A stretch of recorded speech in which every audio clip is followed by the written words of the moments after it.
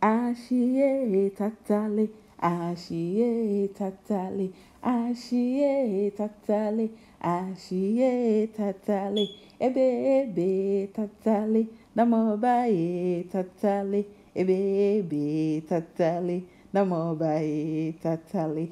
We are making some tatale today or spiced plantain fritters today. Let's get right into the video. My God, people, how did I do? Also, if you enjoyed this song and my voice alone, give me a thumbs up already. For my list of ingredients, I have here half of an onion, two Ghana nutmegs or udiaba. I have a half a teaspoon of cloves, one chili pepper. These are quite spicy. It's from my sister's garden, so they're very nice and spicy. I have some palm oil that I will be I will use in frying. You can also use your regular uh, frying oil if you don't have the palm oil. I have here some salt.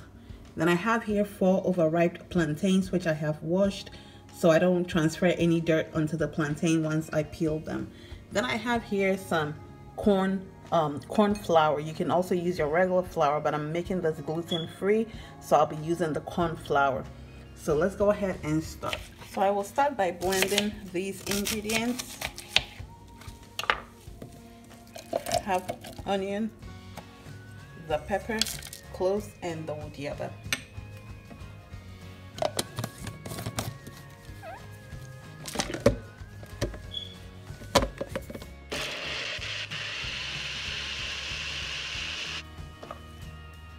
I will now proceed to peeling the plantains.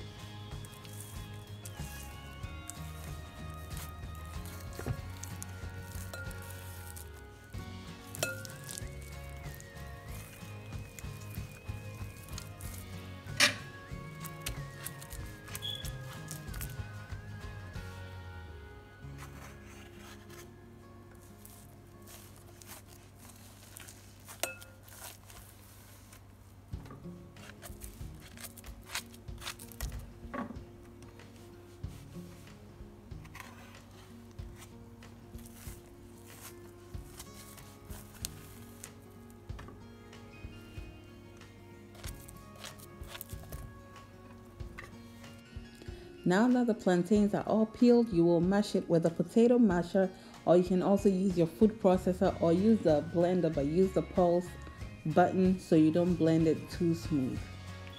We will now combine all the ingredients and fry our tatale. So first I'll add in the corn flour. As I mentioned, you can also use your regular all-purpose flour. Then I'll go in with a teaspoon of salt and the blended ingredients. This is quite spicy, but I love it. It's good for the weather. So now you're going to go ahead and hold everything together until it's nicely combined um, and everything is very well incorporated.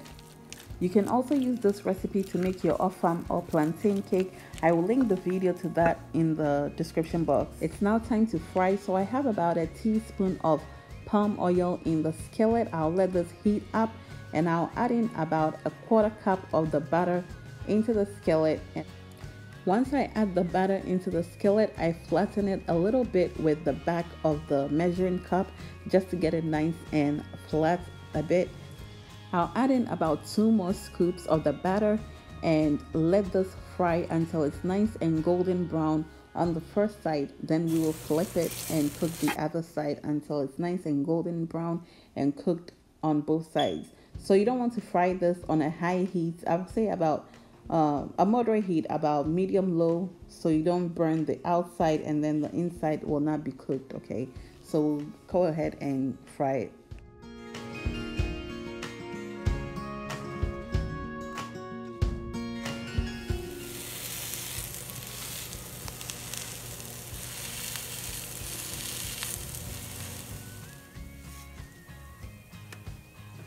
I'll take it out of the pan add some oil to the pan and then continue frying.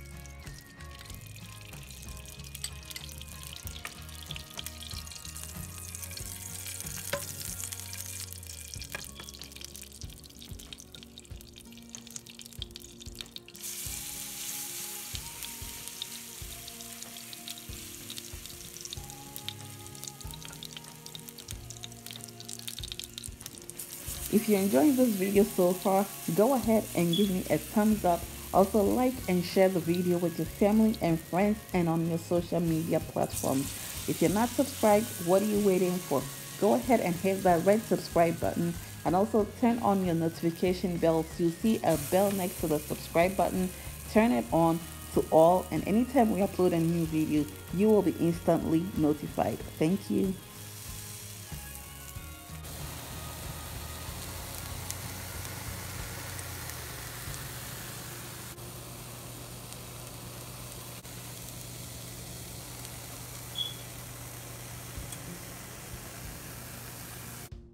Just look at how it's looking very nice and golden brown very delish nice and spicy.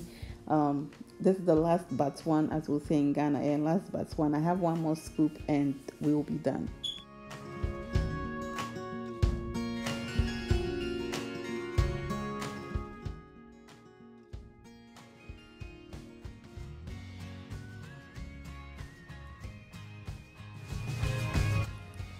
all right fam. So here is our spiced plantain pancake or our tatale i have a few in there that got a bit darker because i was uh, i was busy doing something else but it tasted amazing anyways and this is how it looks on the inside. It's very nice and crunchy on the outside and yet it's still cooked on the inside. Very well set.